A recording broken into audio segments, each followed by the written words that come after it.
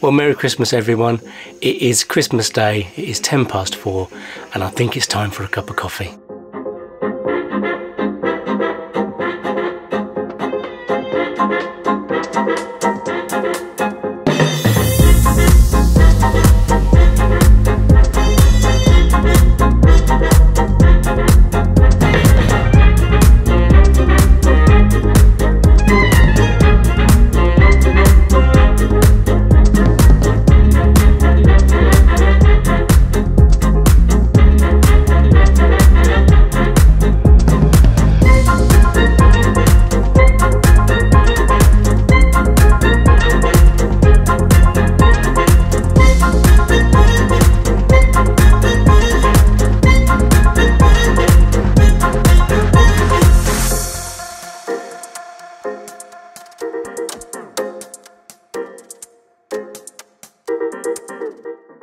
So it's the perfect excuse to finally show you the Vango collapsible camping kettle. So this was a kettle that we bought on Amazon for £22 and 98 pence.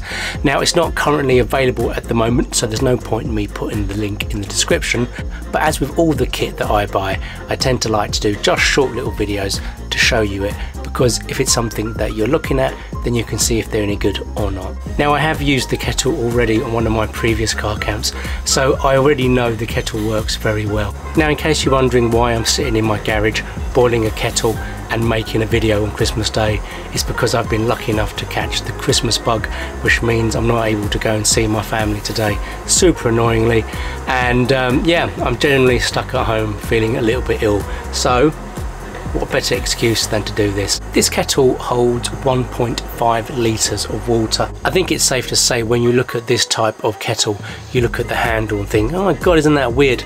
Well, it does work. It serves its purpose quite well. It feels quite strong. It feels quite sturdy. There's a simple little catch where you just move this up and then that enables you to open the lid. You need to make sure that catch is back down again when you're actually lifting it off the stove. And there you go, one cup of Christmas Day coffee. The kettle design is, I suppose, pretty standard for this type of kettle. You have a silicone top and all this concertines down into the metal base here and you have the little kind of grippy handle.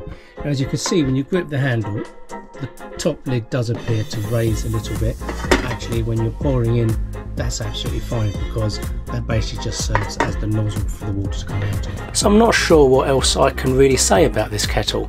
It's functional, it works, it's a reasonable price, it's a decent brand, and the fact that it's collapsible means it's easy to transport around. So I have it in my little boxes under my bed and it takes up no space whatsoever. So um, yeah, for me, it works perfectly. And the thing with me and all kit, I tend to like to find the cheapest gear that is actually functional. So whilst I am more than sure there are going to be much more expensive versions of this that for some reason may be better, this is perfect.